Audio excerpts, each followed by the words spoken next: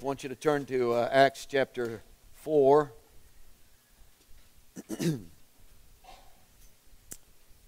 uh, in some ways, we're beginning on kind of a, a new emphasis, not really new emphasis, I guess, but a, uh, a passage that's linked together, verse 10, 11, and 12 of chapter 4. And I perceive that it'll be, uh, we'll be spending some time in these three verses. I was not aware of it at the beginning uh, of the uh, investigation of this passage, but as I got into chap- uh, uh, verse 10, which is, of course, a continuation of verse 9, making all one sentence, and then moved into verse 11, I saw that he was really saying the same thing. So the statement in verse 9 and 10 is remade in verse 11, which is then remade in verse 12.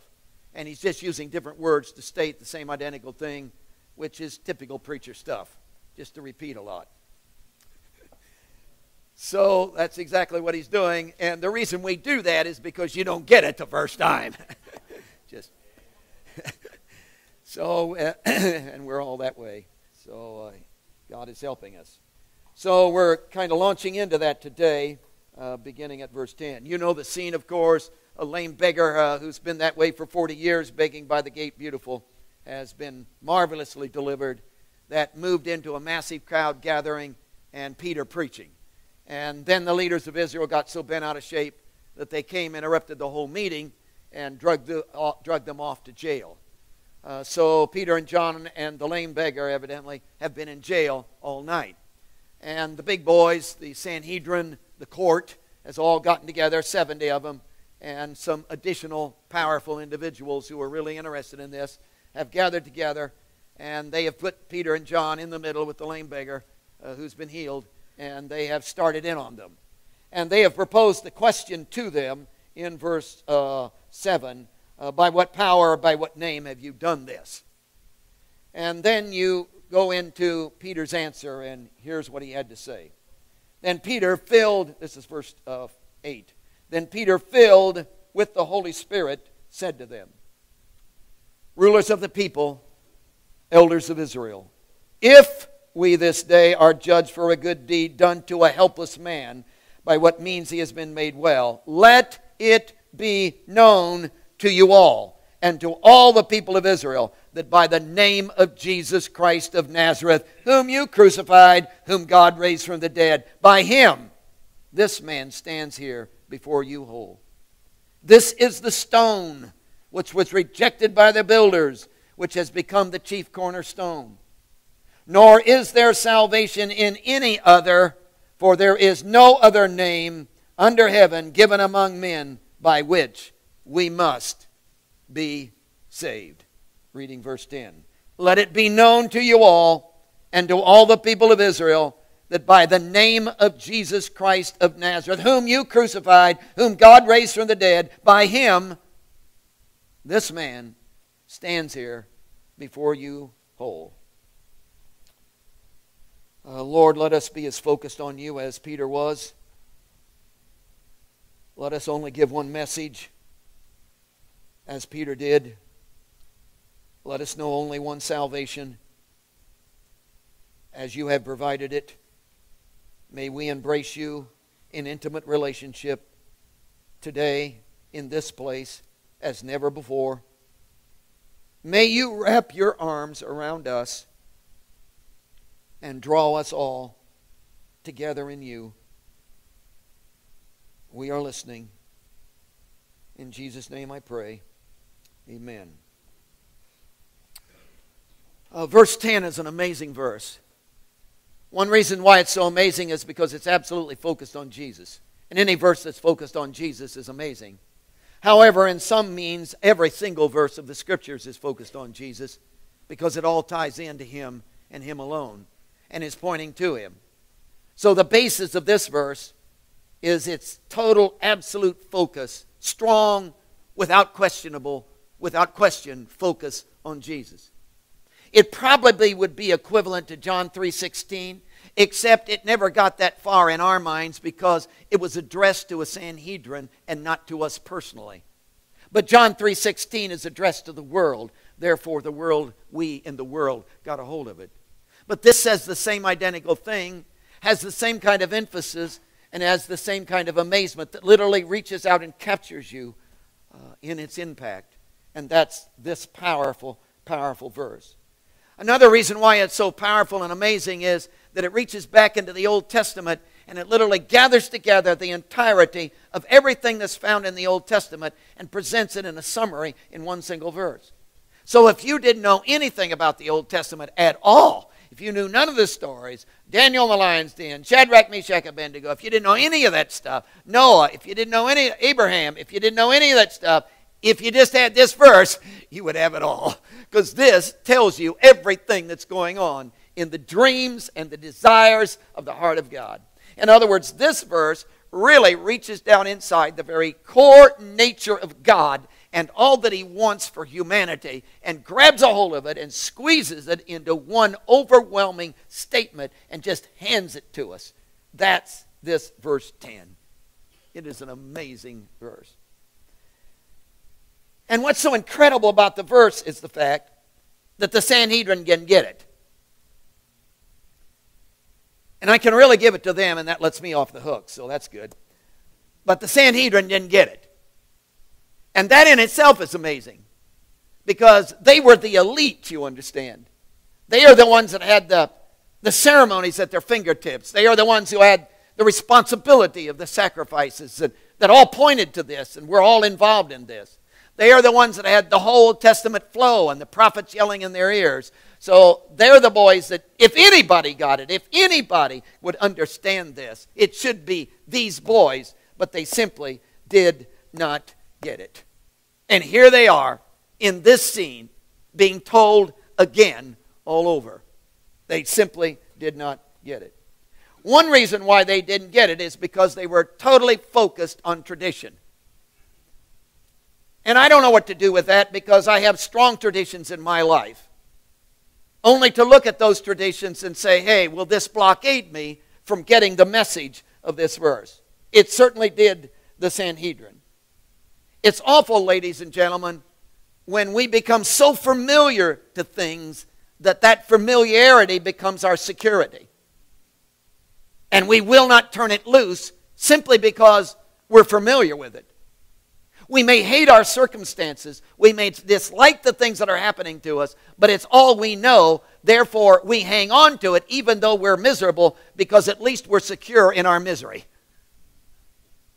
And to step out of that means I got to risk. I got to go into the unknown. I got to trust. I got to expand. But see, God is always doing that to us. He's always coming in the midst of our traditions, the things that have become the patterns in our lives that we are so we are so secure in, we have always been in. We know this territory, so we are resting in this security of our traditions. And so Jesus has marched into the middle of the traditions of these boys and has literally exploded it in their face. And they refuse to discard anything, they refuse to embrace anything, they discard anything that literally affects or threatens their traditions.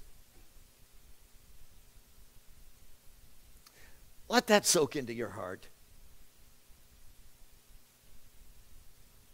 Wouldn't it be awful if you became so familiar with the way you are that you won't turn it loose to let God do something new? Which is exactly the scene that they're in. And they are in a maintenance mode. And I'm telling you from the depths of my heart, maintenance, simply maintaining. Well, I'm just putting one foot in front of the other. Well, I'm just barely making it. Well, I'm just maintaining. Well, hey, today is going to be like to, yesterday, and tomorrow is going to be like today, and I'm just barely maintaining. That is absolutely destructive to your life. It's ruination. You weren't built for that, man. And there is a God who's expanding. There is a God who's taking you and blowing up your traditions. There is a God who's marching into your securities that hamper you and bind you. And He's literally blowing those apart and wanting to take you where you've never been. Is it risky? Not with Him. Not with Him. It's safe. And He has a dream. But they missed it. because they were locked down by the boundaries of their tradition. They missed it because they were all wrapped up in their theology. They were focused on their theology. That scares me because that's my realm. One arm wrestle theology, I win. I can put you down. Hey, I know theology. But wouldn't it be awful that if I had a theology that became a box in my life, which is exactly what that happened to them?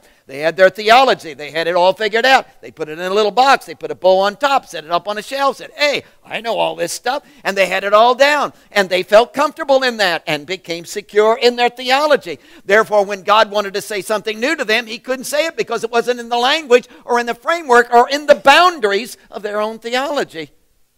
And if you never let God speak out of the realm of what you've already figured out in your theology, how's He ever going to tell you anything new?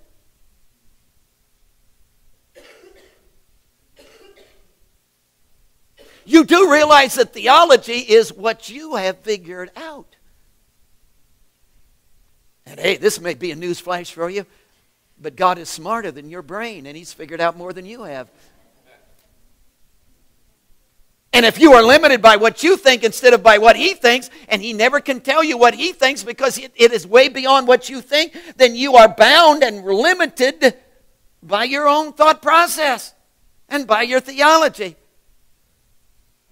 And God is bigger than your little theology, and he wants to move on.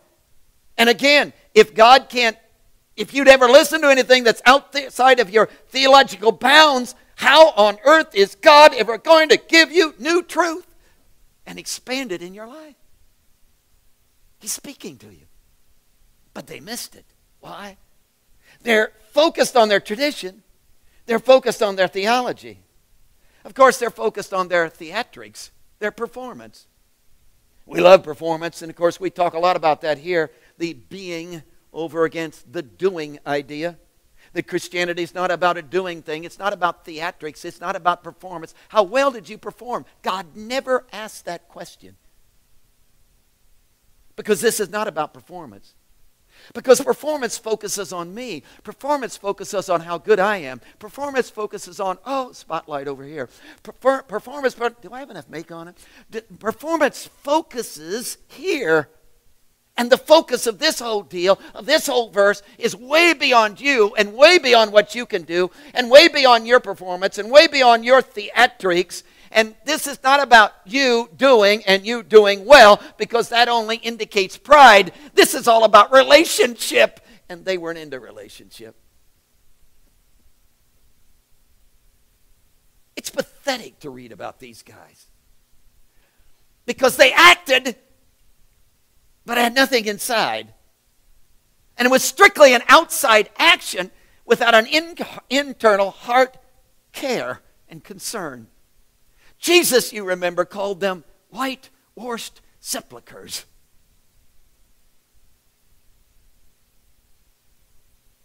Outside, but oh, the inside. They missed it. They missed it because they were wrapped up in their own performance. Well, what is this new thing he's telling us about? This new truth. Verse 10. Probably, I must tell you, it isn't a new thing, it's an old thing. So, what are you going to hear this morning? You're going to hear the same old, same old. Because that's all there is. So, this is not a new thing this is an old thing, and we can trace it all the way back. But let's walk through his verse. Again, verse 10. Let it be known to you all, unto all the people of Israel, that by the name of Jesus Christ of Nazareth, whom you crucified, whom God raised from the dead, by him this man stands here before you whole. I want to walk you through the progression of the verse. You start with the Trinity God. Did you notice the statement that he made? Whom God raised from the dead. In another study, we indicated this, but the idea is that God is not, this is not a new God. What I'm proposing to you and what He's doing in Jesus and what you're being confronted with is not like, oh, dump the old religion, grab the new religion. This is not like, hey, what you believed in God the Father in terms of the God of Abraham, God of Isaac, and God of Jacob, that's all gone now. We're not dealing with that. We're dealing with Jesus. Peter says, Whoa, guys, whoa, guys, if you think for one single moment we're proposing to you a whole new religion with a whole new God and that Jesus is starting something clear over here on the, uh, uh, in another realm, in another room, on another page, you're dead wrong. This is the fulfillment of what God, your God, the God you have counted on from childhood, the God you've heard about, the God that the prophets have talked about, the God that your forefathers have, have yelled at you about, the God that is the God of your ceremonies, the God that is the God who told you to sacrifice those lambs that you're sacrificing. That God is the God we're talking about, and that God is the God that is literally acting in the one called Jesus who literally raised him from the dead. And this is not a new deal at all. This is the same old, same old, but it's expanded in your life, so let it happen, will you? Let it happen. See, we're not proposing that you dump everything that was in the past. We're not proposing you dump your traditions. We're not proposing you set aside your theology. We're not proposing that you do not get involved in acting out your faith. What we're proposing to you is that God wants to take all of those things and He literally wants to expand those, and this is not a new deal in any way, shape, or form. This is the same old God that you've had all along. Would you please let Him reveal Himself in your life? The issue in the one of the issues in the evangelical church is the fact that when I say God to you, you immediately think of the Father.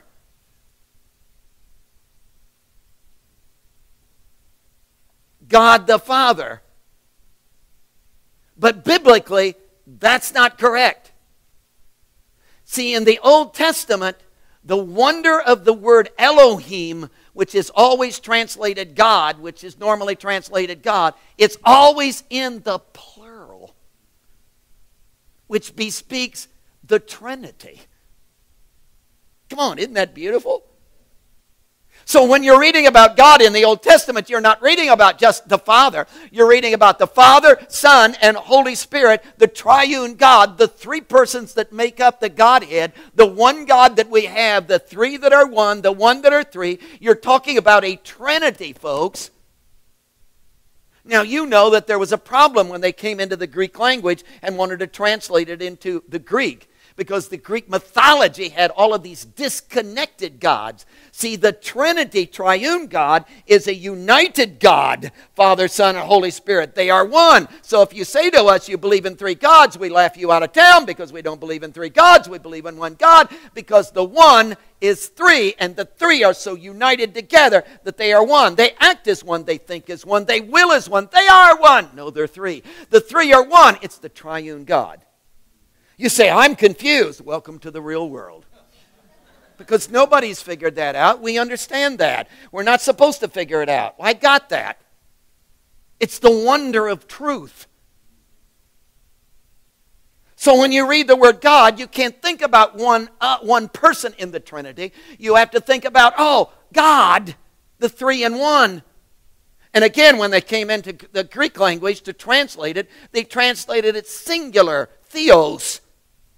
Because if they translated a plural, it would be these disconnected gods of the Greek mythology, and that would lead everybody astray. So they didn't do that. They translated it singular. But when you read the word God, you've got to suppose in your mind, you've got to see in your mind, we're really talking about the Trinity God, the God who is literally three in one. Now, why is that so important? Because that's the God that's been acting all the time throughout the Old Testament. That's the God that's been aggressively after your life consistently. That's the God who's totally involved in the man called Jesus. That's the God that's stuck his fingers in the middle of the history of the world. That God, the three in one God. And in our passage, of course, it's focused exclusively on the resurrection. Do you see it? God, Trinity God, raised him from the dead. So it's focused on the resurrection. Now, legitimately, he could have focused on the incarnation. Legitimately, he could have focused on the miracles. He could have focused on any aspect of the life of Jesus because the whole life of Jesus is a result of the Trinity God. The whole Trinity was involved in the incarnation. This is not a Father and, and Spirit setting aside saying, There goes that wild kid of ours, Jesus. Doing something crazy. We'll see how it goes. See, that's not what's going on. God the Father is involved in the incarnation. He's the one that's got the angels singing in the sky. The Holy Spirit has come and overshadowed Mary and has literally brought life in her womb. Jesus is literally the babe who is the helpless one now. So all three members of the Trinity are involved, intimately involved in the incarnation. Christmas, we get that, don't we? All the miracles of God, all the miracles of Jesus are literally an outexpress of this Trinity God, are they not? Did not Jesus say, Hey, what I see the Father do, I do. So everything I'm doing, the Father's already doing because the Father is doing it, because the Spirit is involved in the doing. So the Father who's moving through the Spirit is moving through me, which involves the whole Trinity in the action of God in the midst of a miracle. So if you're moved upon and a miracle takes place in your life, you can be rest assured that it isn't just Jesus, the second member, who's doing it. It isn't just the Spirit who's actively involved while Jesus is taking a nap. It's the Father, it's the Son, it's the Holy Spirit. We're talking about God is involved in this. Now, that whole thing boils down in our passage to the resurrection. And when you come to the resurrection, the whole Trinity, God is involved. God raised him from the dead. Have these things been confusing to you? For instance, let me take you to Romans uh, chapter 8, verse 11. It says, But if the Spirit of him who raised Jesus from the dead dwells in you. He who raised Jesus from the dead will also give life to you, to your mortal bodies, through his Spirit who dwells in you. So, where did the resurrection come from? Well, the dynamic activity of the Holy Spirit. The Holy Spirit is the one responsible for resurrection. In fact, I love Acts chapter 2, verse 24, where it talks about Peter's preaching, and he's talking about this Spirit of God that's literally whelming up, running through the bloodstream of Jesus, boiling within his very being, burning in his bones, and just flowing through his life. And this Spirit that's just flowing through him was so powerful in life that, you, that Jesus went clear down into the depths of hell, and hell could not contain him. Why? Because he had this life within him. Wouldn't you like to have that going on inside of you? That's the Spirit. If you're filled with the Spirit, you have it so that there's less. Oh, death is coming at you on every hand. Destruction is coming at you. Uh, despondency is coming at you. Depression is coming at you. Criticism is coming at you. But you have this inside moving, powerful life of God just boiling through your being, just permeating your life and pushing back all the, oh, you got it made. See, why couldn't you be victorious? Why couldn't you live like you ought to? Why couldn't you live in the midst of death? Because life is coming from the Spirit, he said. Oh, let me take you to uh, John 2 19. Jesus is having quite a discussion with the Israelites, the leaders of Israel, and he, gets, he, he begins to say stuff like this Destroy this temple, and in three days I will raise it up. Now, you know at his crucifixion, that is, at the trials, they, they leveled that one at him several times. He said, Destroy this temple, and in three days I will raise it up. You know how long it took to build that temple of theirs? And you're going to pop it up in three days, one man on his own? Oh, you didn't get it, guys. I'm not talking about the building temple. I'm talking about my flesh. In fact, he went on to say in John 10, 17, and 18, Therefore my Father loves me because I lay my life down that I may take it up again. No one takes it from me. I lay it down. I have power to lay it down. I have power to take it up again. This command I have received from my Father. So who's responsible for the resurrection? Well, I thought it was the Holy Spirit. No, no, it's Jesus. So Jesus is responsible for the resurrection. Well, he says the Spirit. Wouldn't it be something if it was both of them? Then you come to Acts chapter 5, verse 29 in our passage. Listen to this. Peter, in response to their threat, said, We ought to obey God rather than men. The God of our fathers raised up Jesus, whom you murdered by hanging on a tree. Him God has exalted to his right hand to be prince and savior, to give repentance to Israel and forgiveness of sins. Well, what are you trying to say, Manley? I'm trying to tell you that this whole idea of the Trinity God is involved in every facet of this.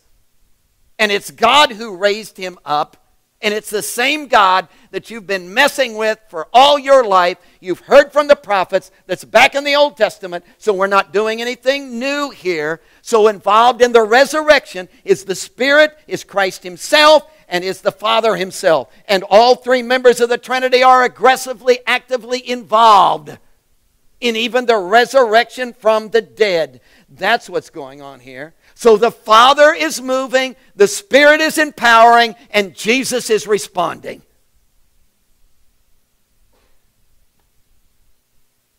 The Trinity raised him.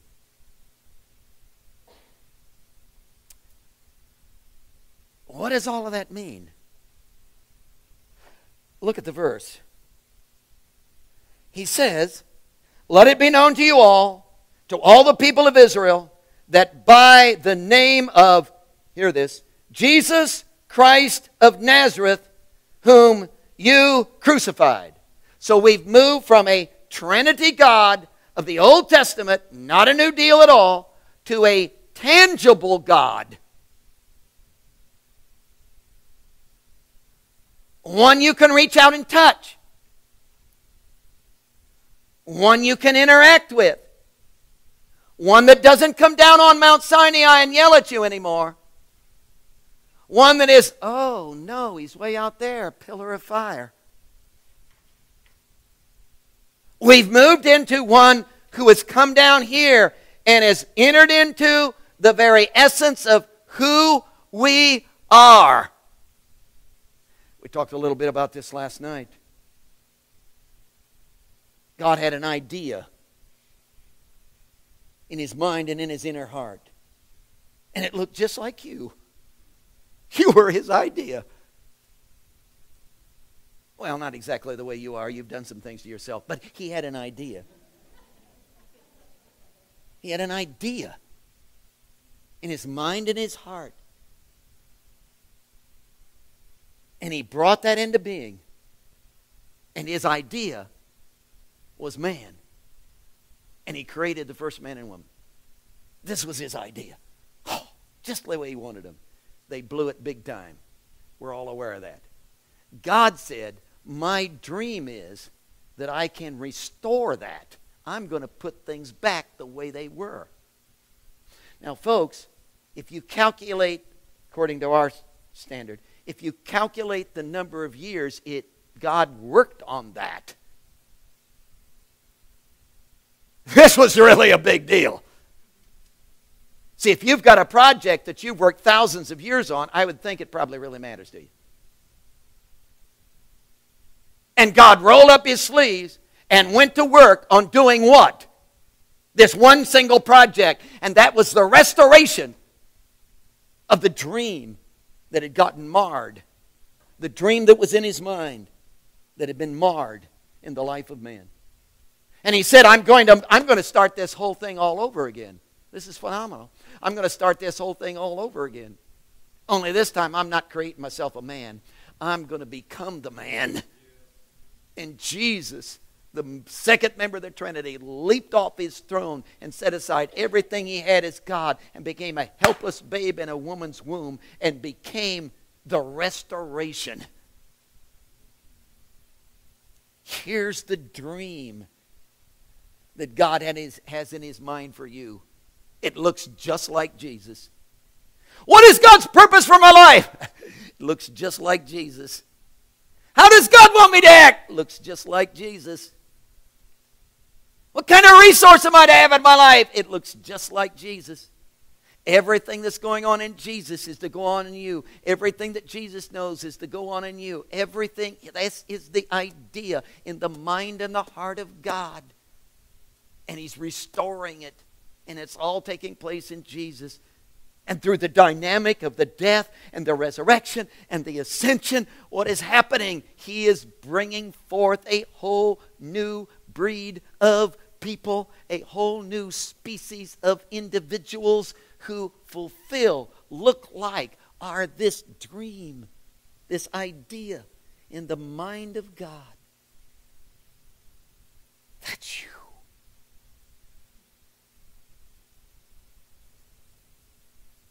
You're not an average person.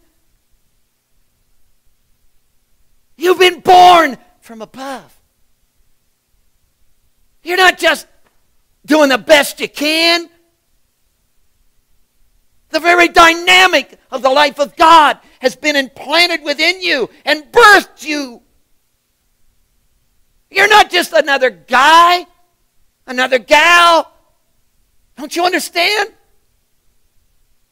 Something has happened so powerfully that what's going on in the mind of God has now come to inject itself into you, and all the resource of God has been released in your system to birth you into the fullness of all of His dream.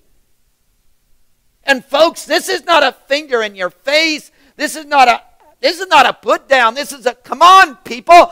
Do you know what we can be? Do you know what God, God's dream can be? You can be the person you ought to be. You can live like you ought to live. You, hey, you can think like you ought to think. You can know what you ought to know. You can be the person you ought to be. God has determined it. And how do I know that? Because there's a Jesus that God has raised from the dead. That's how I know that. And he did it in this Jesus. Now, it's very necessary to make one, one step in this to grasp one thing, and that is the focus is not on the crucifixion. The focus is not on the resurrection. The focus is on Jesus.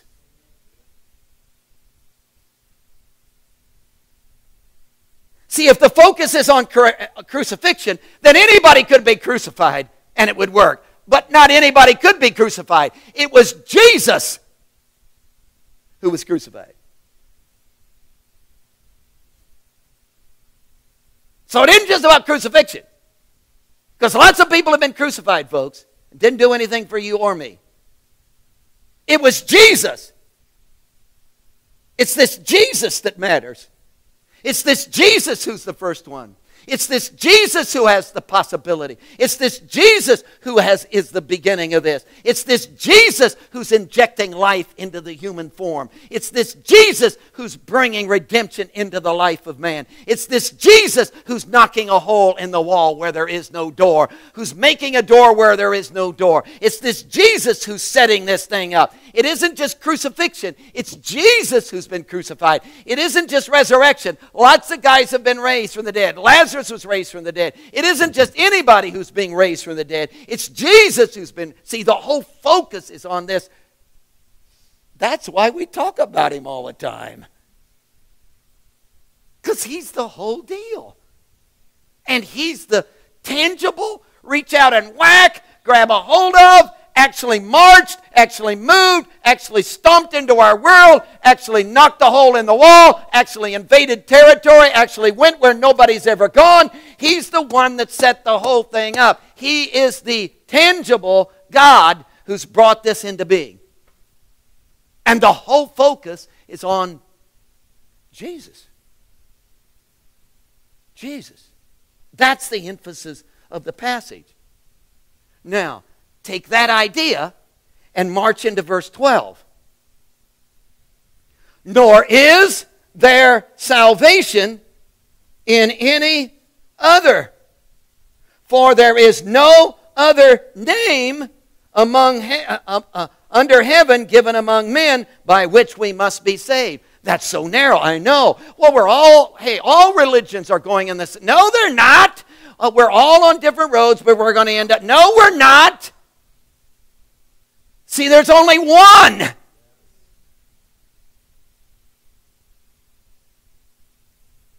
Well, how can you say that? I'm not saying it. He did.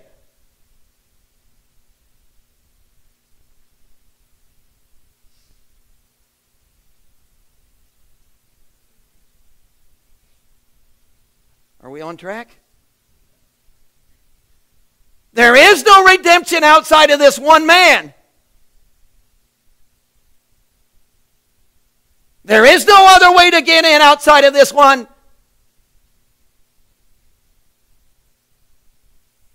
There is no other way to get in. There is no other door. There is no other possibility.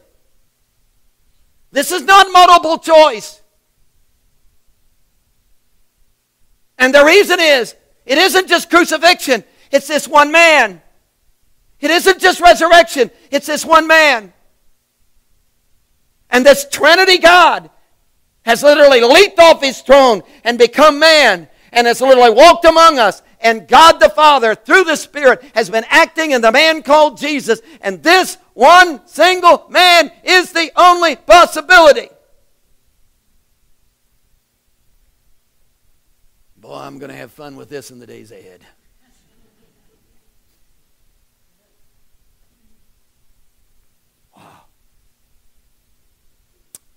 Well, how do you know that, Manley? And how will the world know it? Well, that's the rest of the verse. It's the testimony of God. Look at the end of the verse, verse 10. By him, this man stands here before you whole.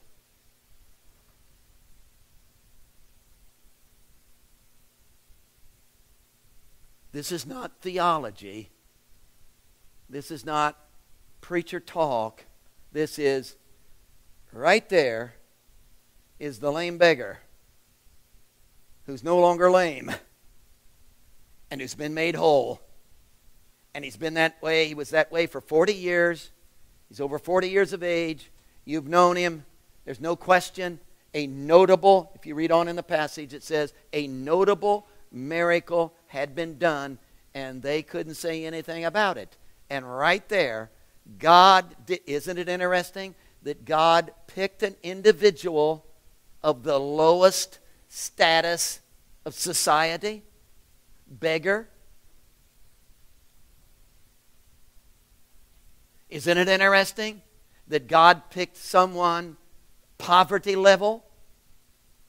Isn't it interesting? God picked someone low in education. Isn't it interesting? God picked someone who had no personal benefits. Isn't it interesting that God reached inside of a life that was totally, absolutely helpless spiritually and physically?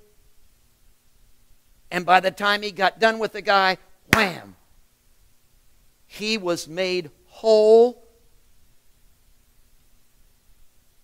And Peter says, What I just told you about the one man, the Trinity God acting in the one man, is true because of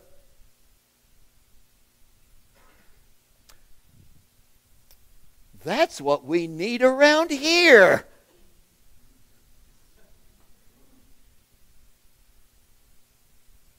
Somebody comes up and says, Manley, you, you mouth off. Prove it to me. And I simply go,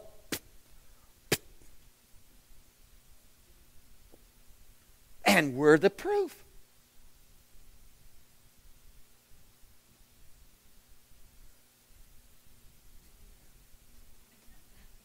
This is why we're winning our community right and left. This is why they're flocking to our doors. Because we're the living proof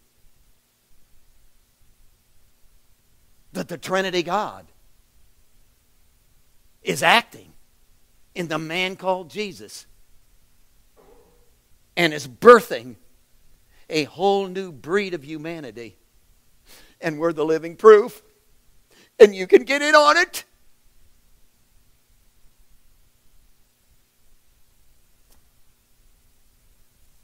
Jesus.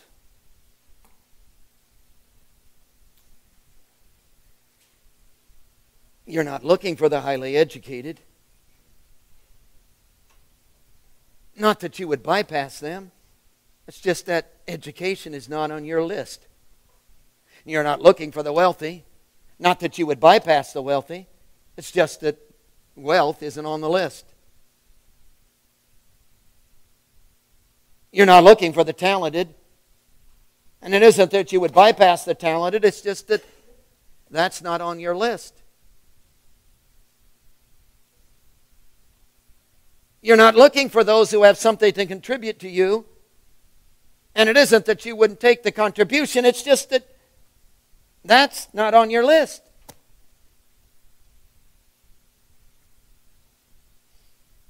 You're looking for anybody, any place, anywhere who will admit their helplessness, open themselves to you, and become a demonstration of the divine activity of a Trinity God that's been acting from beginning of the fall all the way to this moment, plotting, planning with a dream in his mind to restore mankind to his fullness, to the full extent, the full stature of what he's dreamed we could be. And you don't do a half job, do you? You don't, you don't do a token thing. You don't kind of repair. You don't put band aids on, do you, Jesus? You birth. You bring new life. You create. Could you move into my helplessness? And could you radically, Trinity God, through the person of Jesus, oh Father, through the person of Jesus, empowered by the Spirit, could you literally revolutionize my thought process? Could you take me out of my box, out of my traditions, out of my security, out of what I cling to, well, out of the way I've always been? And could you explode who you are? Not a new deal. Hey, you're not, it's not risky, not a new deal. It's the old deal. But God, I've boxed you up. I put you in limits. I've put you, I, I, I put boundaries around you. Would you explode in my life to expand, to move? Could I turn you loose to birth in me your dream, your idea?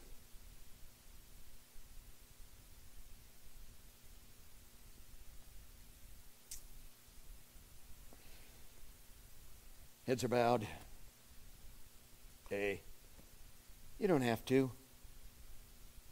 You can be the way you've always been you can maintain.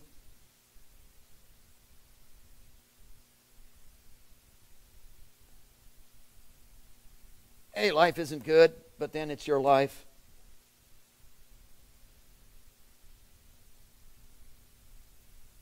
And if you're secure in your misery,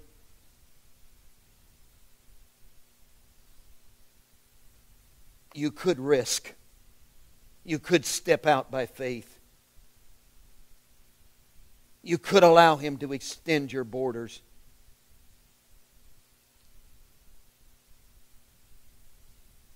You could listen beyond your theology. You could expand and let His dream be birthed in you.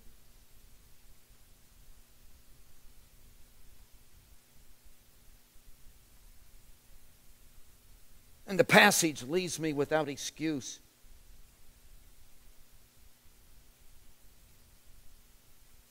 Because there's no status of life lower than a lame beggar. If he could do it for him, he can do it for me. Want to seek him with me today. Would you step out of your securities, your traditional securities, your theological securities, your performance securities? Would you allow Him to birth a new thing in your life? His dream?